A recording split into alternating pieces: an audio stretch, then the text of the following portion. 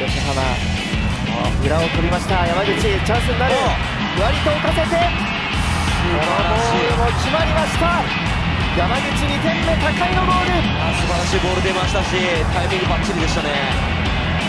高井は今シーズン3得点目です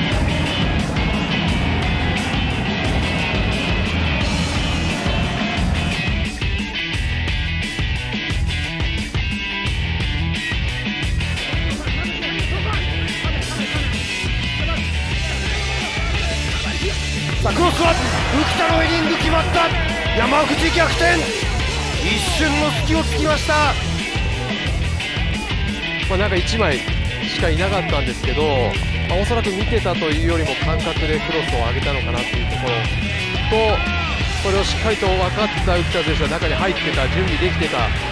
であと当てるだけという感じの2人で崩したようなゴールだったので、まあ、この2点目っていうのは山口に勢いをもたらす1点になったのかなと思いますね。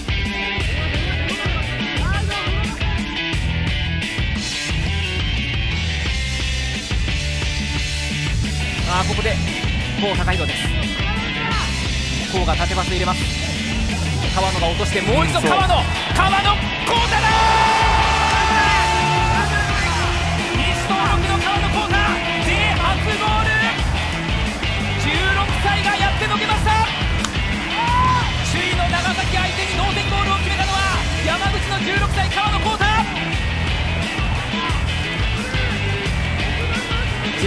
初ゴール。16歳11ヶ月17日山口のクラブ最年少記録を塗り替えました。